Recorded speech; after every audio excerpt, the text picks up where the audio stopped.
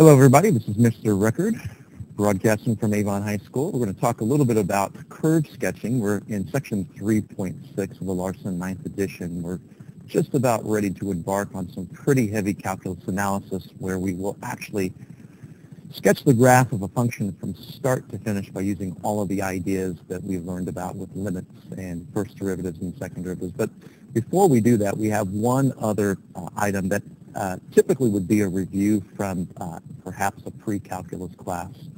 Uh, and that is the idea of the oblique or slant asymptote.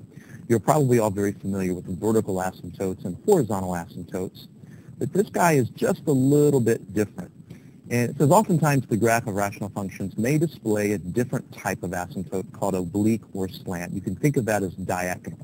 It's a diagonal line that serves as a barrier guiding the end behavior of the function. And if you consider this particular function, f of x, uh, I've, give, I've given you a sketch of the graph over to the right, which might give you a little bit of insight into where this oblique asymptote would occur. But I'm going to show you algebraically how to find it, and we'll even graph it um, on the TI Nspire to get a little bit better look at it. I want you to keep in mind, though, that this particular function does look like it has a uh, vertical asymptote as well. I believe it occurs at x equal 1. But that is immaterial. Uh, these functions quite often might have a vertical asymptote, and if they do, um, you know, that is a completely separate idea from the diagonal asymptote. Now, the idea of having a horizontal asymptote and a diagonal asymptote is a different story that we'll talk about in a second. So if we go ahead and take a look at this particular problem, we will investigate the slant asymptote. And I'd like you to take a very good look at what's underlying here, because this is very important. We must take note that only rational functions whose degree of its numerator exceeds the degree of its denominator by 1 will have an oblique asymptote. In other words, if you look at the top and you say, hey, what is the highest power of x on top? Well, in that case, that would be a 3. And then you look down here on bottom and say, what's the highest power of x there? In this case, 2. This would be a scenario where you would have an oblique asymptote. In any other type of situation where the degree of the top is not one bigger than the denominator, you will never have the slant asymptote. This will be pretty clear why that's true in just a moment.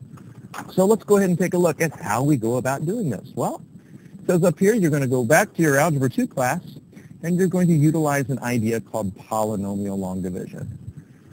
Yes, it's probably likely that I heard you moan and groan out there. Polynomial long division?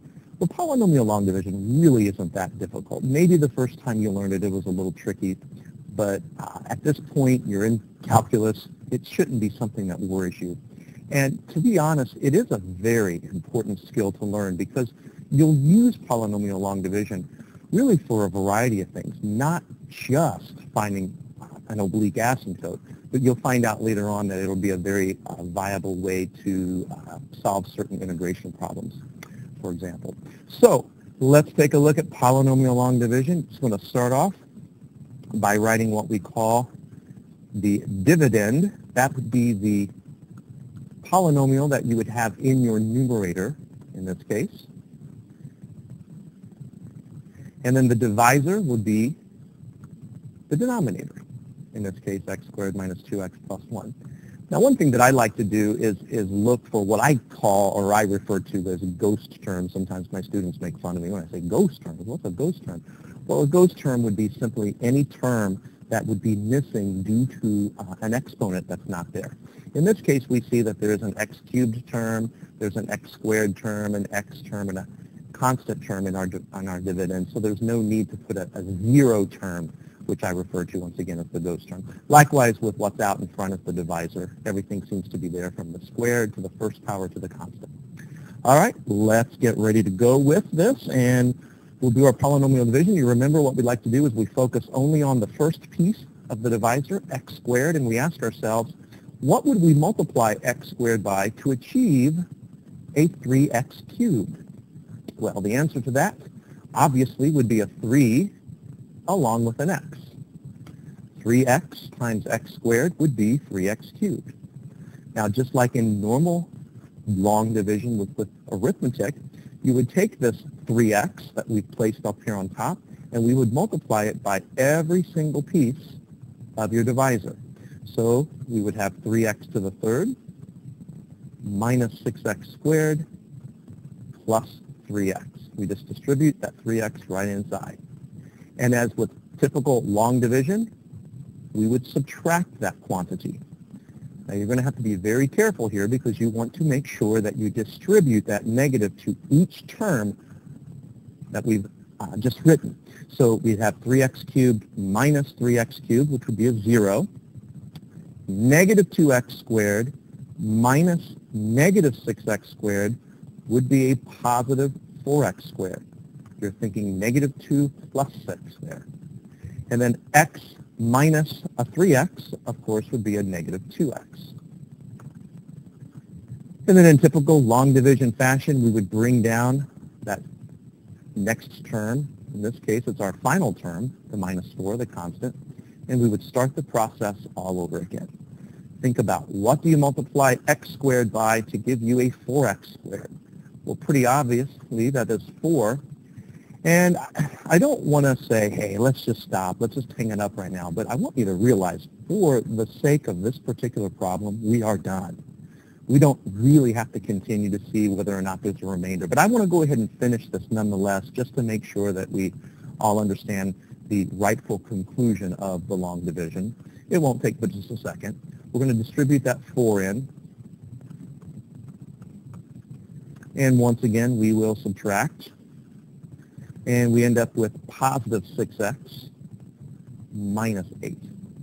Positive 6x minus 8. And you'll notice here that you can no longer do your polynomial long division because your leftover remnants of your division now contain only an x to the first power, and you can't really divide an x to the second power into that very nicely. So technically, your final result, your answer to this long division problem would be 3x plus 4 plus the remainder that we came up with, 6x minus 8, divided by what our divisor was. Now that is the rightful conclusion of polynomial long division. However, in this particular application, in the application of finding a slant or oblique asymptote, we are told down here that it is the non-remainder portion of our quotient that would be the expression for your lines equation. All that you would have to do is simply throw a y equal in front. So our non-remainder portion would be this guy right here, the 3x plus 4, and that should be our oblique asymptotes equation. You don't do much of anything with that remainder portion. Well, if we go back and, and we look at the graph that we had fashioned earlier for this, um, it's probably going to be very difficult to determine uh, that 3x um, minus 4 y equals, I'm sorry, y equals 3x plus 4 is indeed the vertical or the, uh, the oblique asymptote. You've got to get the right asymptote here.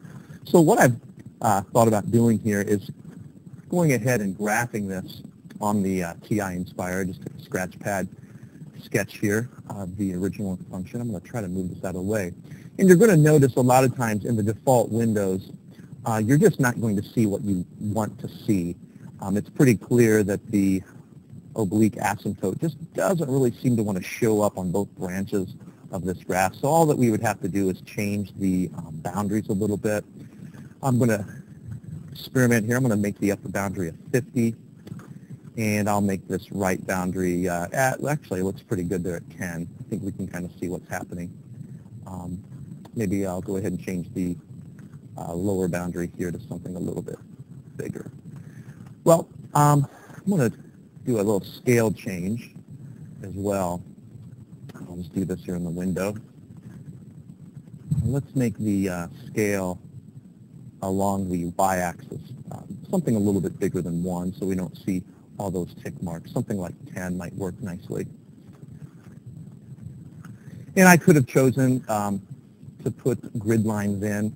That may or may not help here because of the, the, the crazy scale change, but I'm not really concerned about that. I'm really concerned about if I were to sketch y equals 3x plus 4, am I going to see a pretty good uh, replication of our work? Does it really seem to be an oblique asymptote? So I'm going to hit the tab button to call up my graph entry line, and then I'll just enter our long division result, 3x plus 4, already default set equal to y.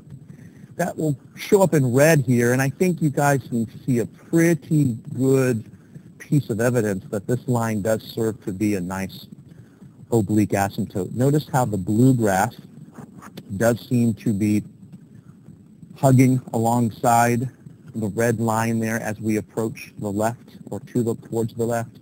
And I think we've got that same sort of behavior going on in the upper branch too. The blue curve is approaching the red line very nicely.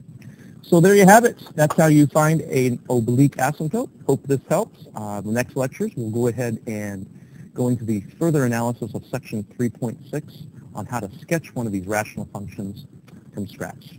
Thanks for watching. I'll see you next time.